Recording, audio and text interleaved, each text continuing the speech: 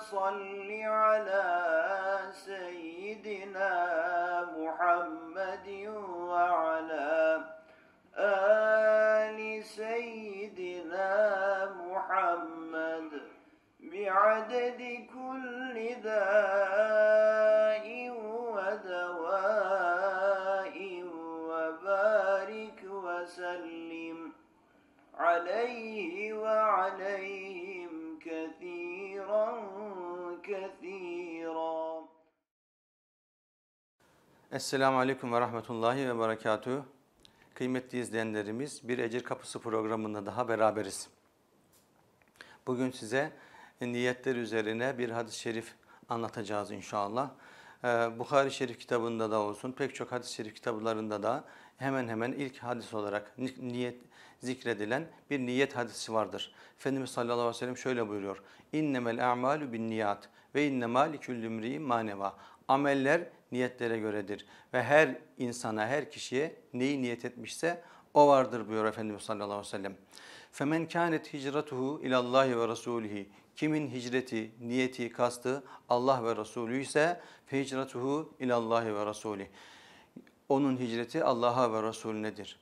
Ama ve men kânet hicratuhu ila dünya bir kimsenin niyeti, kastı, yola çıkış sebebi dünyaysa ev imraatin yahut da bir kadınsa e, ila dünya yusibuha o dünyaya kav- kavuşur. Ev imraatin yankuhuha ya bir kadınsa onu nikahlar. Fe hicratuhu ila ma hacera. Herkesin niyeti, her kimin herkesin hicreti neye hicret etmişse onadır. Herkesin niyeti neyi niyet etmişse ona kavuşur arkadaşlar.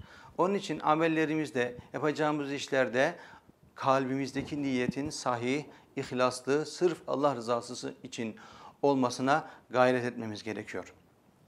Bu niyeti tasih ve güzel şeyleri niyet etmekle ilgili çok güzel bir ayet-i kerime var.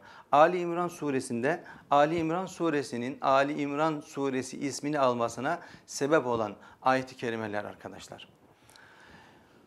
Allah'ımız Celle Celaluhu ayet-i kerimesinde buyuruyor ki Allah astafa Adem'e ve Nuhan. Allah Celle Celaluhu Adem'i ve Nuh'u başka ve ale İbrahim'e ve İbrahim ailesini ve ale İmran'e alel alemin ve İmran'ın ailesini alemlere üstün kıldı. Seçti onları. Zürriyeten ba'dhuha min ba'd. Bazısı bazısından doğma bir zürriyet olarak onları seçti. Vallahu semi'un alim. Allah Celle Celaluhu her şeyi işiten, her şeyi bilendir. Efendimiz sallallahu Allah'ımız Celle Celaluhu burada bize bir hanımın niyetini haber veriyor. Buyuruyor ki İz Habibim hatırla, hatırlat insanlara haber ver. Galet dedi ki İmratu İmrane, İmran'ın hanımı şöyle demişti. Ne demişti? Rabbi inni nezertu leke ma fi batni. Ey Rabbim ben şu karnımdakini senin için, senin yoluna adak adadım. Sana adadım ya Rabbi. İmran, Hazreti İmran'ın hanımı yani İmran, İmran'ın hanımı kim? Hanne validemiz. Hazreti Meryem'in annesi arkadaşlar. Yanında kimse yok. Tek başınayken kendisinin hamile olduğunu anladığında Allah rızası için bir niyet ediyor. Son derece ihlaslı bir niyet ediyor. Diyor ki ya Rabbi ben şu karnımda bulunanı senin için, senin rızayı şerifin için senin yoluna adadım. Muharraran bütün her şeyden hür olarak yani dünyalık kendisinden bir şey istemiyorum. Bana su getirmesin, bana hizmet etmesin. Yalnızca senin yoluna, senin dinine hizmet etsin diye onu sana adadım ya Rabbi. Fetekabbelhu minni. Ya Rabbi onu benden kabul et. İnneke entes semi'ul alim. Sen ziyade işiten ve her şeyi en iyi bilensin ya Rabbi. Hanne validemiz bir erkek çocuk doğurmayı hayal ediyor ve bir oğlu olacağını ve oğul evladın dünyaya Allah rızası için hizmet edeceğini dünyada bir mücahit olacağını, bir alim olacağını hayal ediyor ve diyor ki ben bu çocuğumdan dünyalık bir şey istemiyorum ya Rabbi. Onun senin yoluna adadım. Felemma vazatha ne zaman ki Hanne valide çocuğunu doğurdu. Galet dedi ki Rabbi inni vazatuha ünsa. Dedi, bir de baktı ki bir kız çocuğu doğurmuş. O zaman tabii şimdiki gibi ultrason yok yani. Doğa çocukları doğmadan önce cinsiyetini kimse bilmiyor. Ancak doğduğu zaman öğreniyorsun. Diyor ki ya Rabbi ben bir kız çocuğu dünyaya getirdim. Vallahu a'lemu bima vazat. Fakat Allah'ımız Celle Celaluhu buyuruyor ki Allah neyi doğur, onun neyi doğurduğunu herkesten ve ondan daha iyi biliyor. Yani o doğan çocuktan ne meydana gelecek, ne gibi hayırlar meydana gelecek onu en iyi Allah Celle Celaluhu biliyor. Ve neyse zekeru kel ünsa. Ve Hanne validemiz diyor ki ben kız doğurdum ya Rabbi. Şimdi kız erkek gibi olmaz, erkek kız gibi olmaz yani. Ve inni semmeytuha Meryem'e.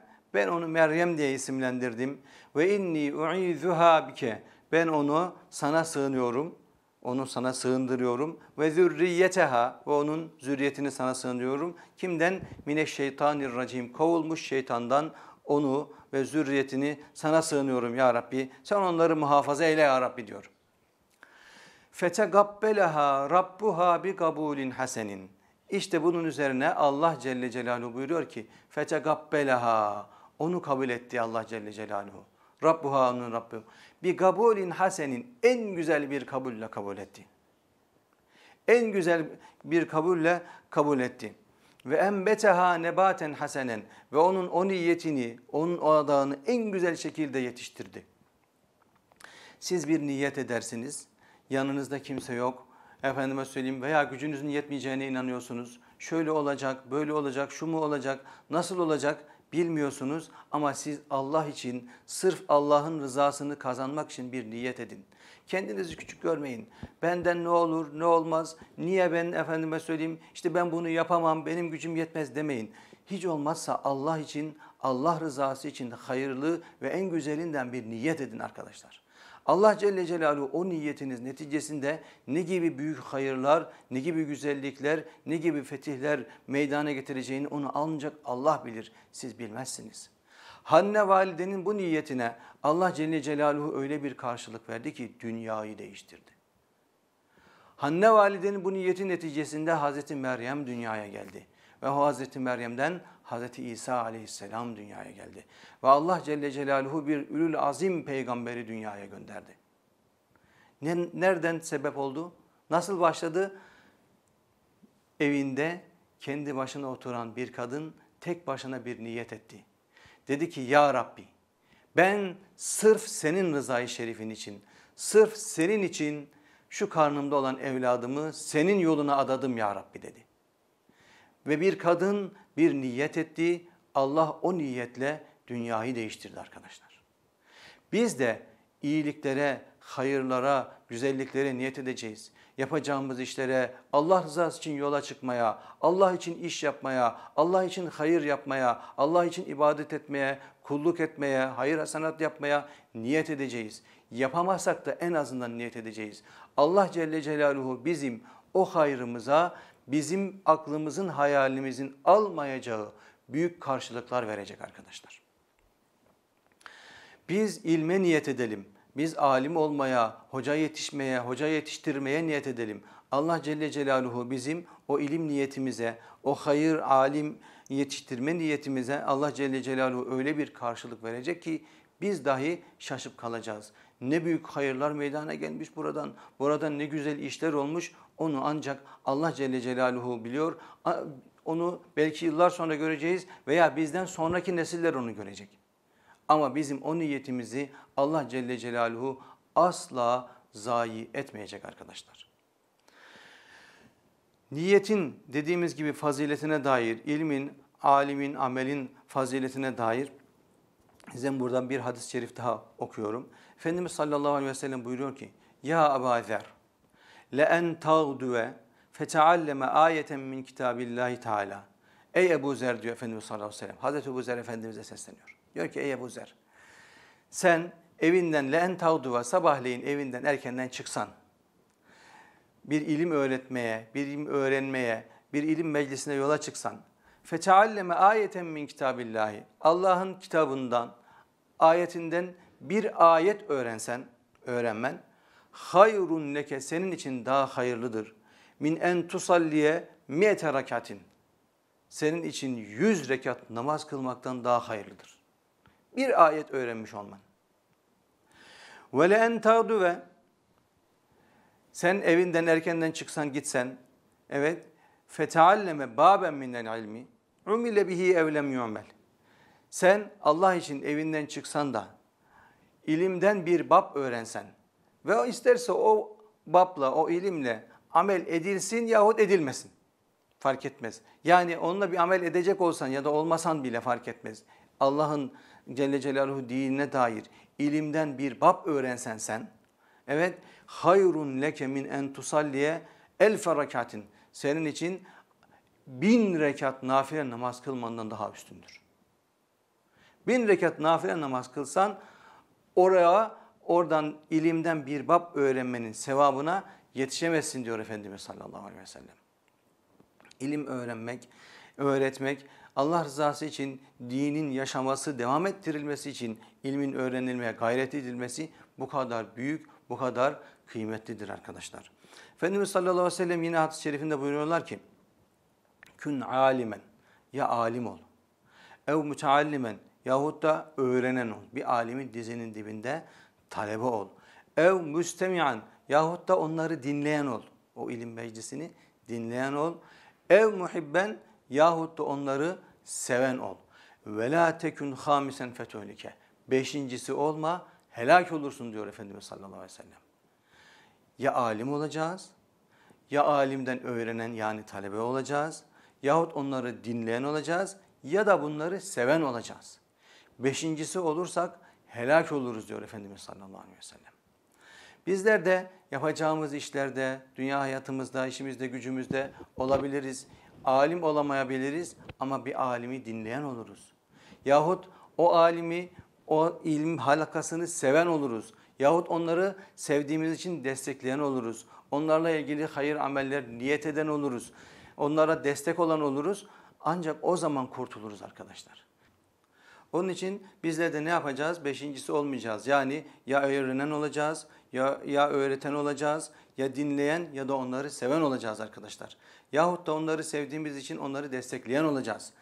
Bizler de dinimizin e, bu ilmin devam ettirilmesiyle ilgili emrine ittiba ederek, Efendimiz sallallahu aleyhi ve sellem bu hadis-i şeriflerine ittiba ederek İsmaila Külliye'mizi inşa ediyoruz. İsmaila Külliye'mizi sizlerin desteğiyle inşa ediyoruz. Ee, sizler de buraya destek olmak için niyet edin. Yapamayacak olsanız bile belki de niyet edin. Allah Celle Celaluhu sizin o niyetlerinize ne gibi büyük hayırlar vereceğini ancak kendisi biliyor. Allah Celle Celaluhu yapacağınız hayırlarınızı kabul etsin. E, hayırda, selamette kalın. Haftaya yeni bir Ecir Kapısı programında görüşmek üzere.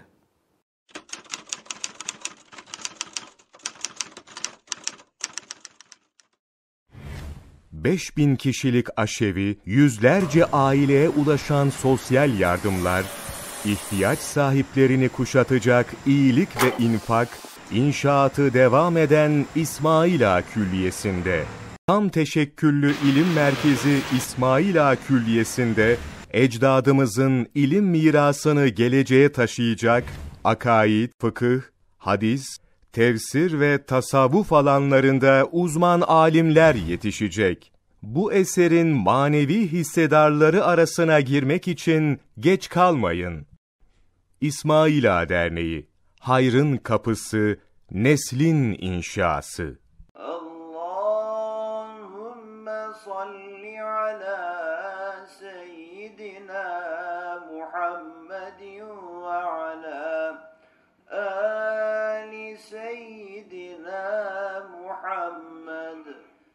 بعدد